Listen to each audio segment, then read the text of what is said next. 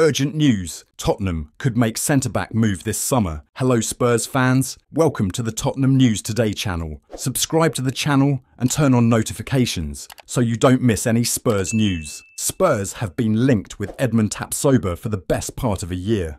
Tottenham have been linked with Tapsoba, who has been labelled as boasting frightening heading abilities by the Bundesliga website for over a year. Both Spurs, alongside bitter rivals Chelsea and Arsenal, have been tipped with a move for the Burkina Faso born star, who has been at Leverkusen since he was 21. And having made over 125 league appearances for the German top flight champions, there is bound to be vast interest in his services with Die Werkself securing their first ever Bundesliga title. At 25 years old, Tapsoba is coming into his peak as a player, and with Jonathan Tah, Piero Hincapie, and Odilon Kossounou all battling for places in Xabi Alonso's defensive ranks.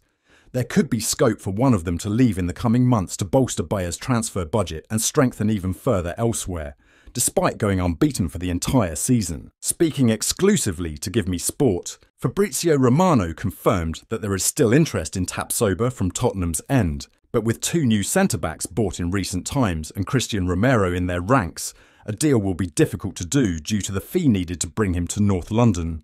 He said, For centre back at the moment, I think they are very happy with Cristian Romero and Micky van de Ven, so they could bring in a new centre back, but it has to be a good opportunity. Also, they spent important money on Radu Dragusin in the January transfer window. Edmond Tapsoba is super expensive. I think it is going to be difficult for Tottenham to return for last summer's target because it's really super expensive.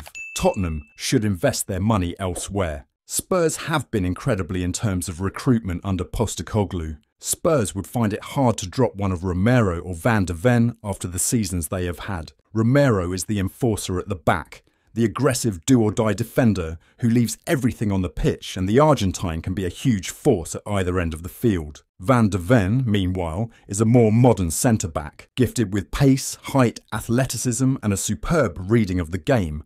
The two complement each other extremely well, and alongside Pedro Porro and Destiny Udogie, Tottenham boast one of the best defences in the Premier League. As Romano states, it would be tough to drop either defender to accommodate Tapsoba in their backline, and with Dragusin only being signed in January, Tapsoba's arrival would all but render the Romanian's transfer to North London as fairly useless for the time being. Tottenham will need to invest in a left winger, with Son Heung-min having moved to out-and-out striker amid Harry Kane's departure to Bayern Munich whilst an elite midfielder could be sought after to challenge Yves Bissouma and Pape Matar Sarr in the centre of the park. And you Spurs fans? What do you think of Edmond Tapsoba is signing? We want to know your opinion. Tell us in the comments below.